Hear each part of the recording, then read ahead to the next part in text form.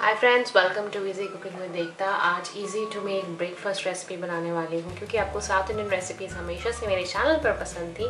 इसीलिए आज मैं लेकर आई हूँ रवा वड़ा रेसिपी बहुत इजी टू मेक है। एक बड़ा प्याज इसको चॉप कर लिया है।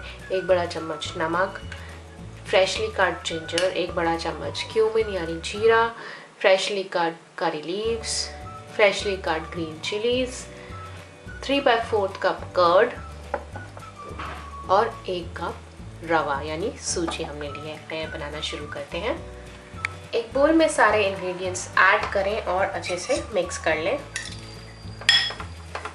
मिक्स होने के बाद ही मिक्सचर कुछ इस तरह लगेगा। अगर आपको लगे थोड़ी दही कम है आप दही की क्वांटिटी बढ़ा सकते हैं।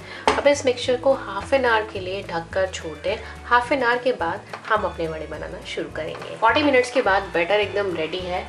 अब अपने हैंड्स को करें ग्रीस ग्रीस करने के बाद थोड़ा सा मिक्सचर हाथों में निकालें इस तरह से। रोल कर लें और बीच में होल कर दें।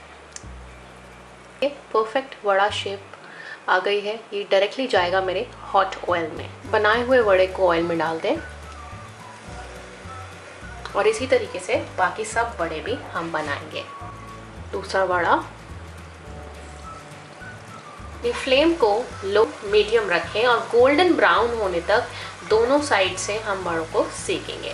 ये देखिए परफेक्ट कलर आ गया है हमारे मेदू वड़े में। इतना ही आपको इनको फ्राई करना है। अब इनको पेपर टाल पर निकालें और सर्व करें। ये देखिए, मेदू वड़ा की फाइनल प्लेटिंग इसको सर्व करूँगी मैं सांबर के साथ। आप सर्व कर सकते हैं नारियल चटनी के साथ। आई होप आपको ये वीडियो ज़रूर पसंद आया होगा। पसंद आया है तो चैनल को सब्सक्राइब करना ना भूलें, वीडियो को लाइक भी करें, वीडियो पर कमेंट भी करें और शेयर भी ज़रूर करें। Bye bye